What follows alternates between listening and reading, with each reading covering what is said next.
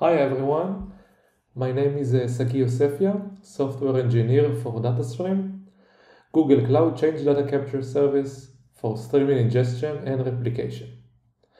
In this video, I will demonstrate Datastream stream recovery feature by showing the basic flow of recovering a failed stream and making it run again. The Datastream console shows me that one of my stream has failed permanently. By clicking one of the stream, I can see more details about the failure.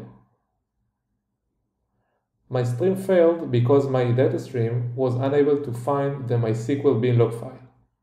This makes sense because I just upgraded my database, which caused the log files to be paired. But it's okay, I can still recover the stream. First, I click the recovery button.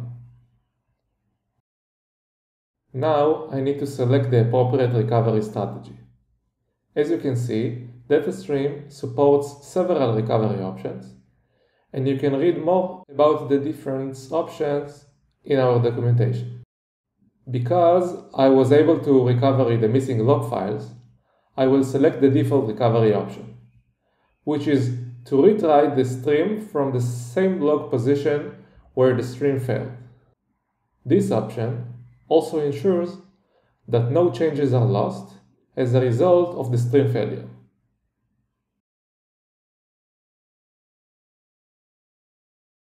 That's it. I recovered my stream and now it's running successfully again. For more information, please refer to Datastream documentation. Thank you.